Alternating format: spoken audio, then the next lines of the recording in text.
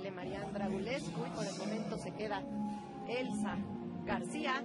Vamos a verla ya y disfrutar su rutina, lo que nos presenta sobre la viga de equilibrio.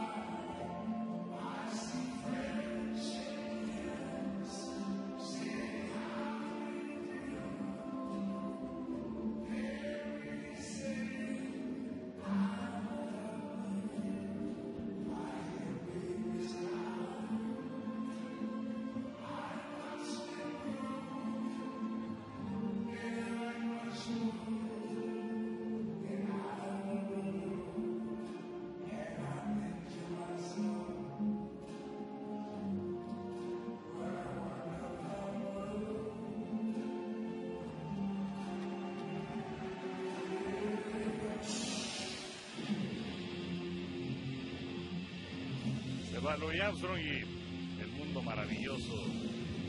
Y ahora viene algo mucho más bonito.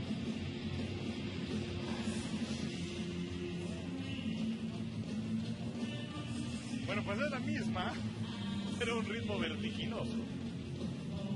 Y ahí cambiando la velocidad de la rutina sobre, sobre la viga para realizar estos saltos.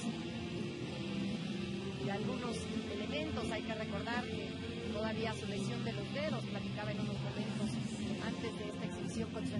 y bueno, todavía sigue recuperándose de la lesión que sufrió en los Juegos Olímpicos de Londres, pero aquí está participando con estos elementos acrobáticos sin tener apoyo en las manos, que fue donde sufrió una lesión en tres dedos de su mano.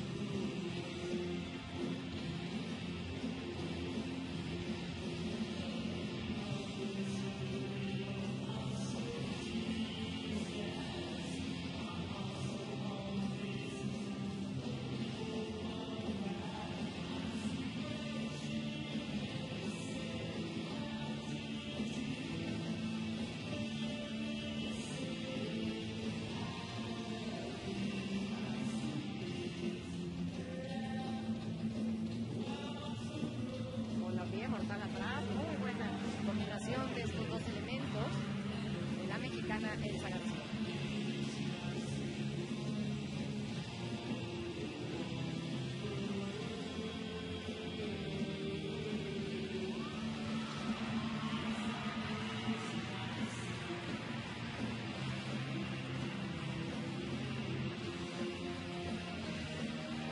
Regiomontana de 22 años de edad. Elsa García, la mejor gimnasta mexicana de la actualidad y su compañero en esta rutina, Marian Dragulescu.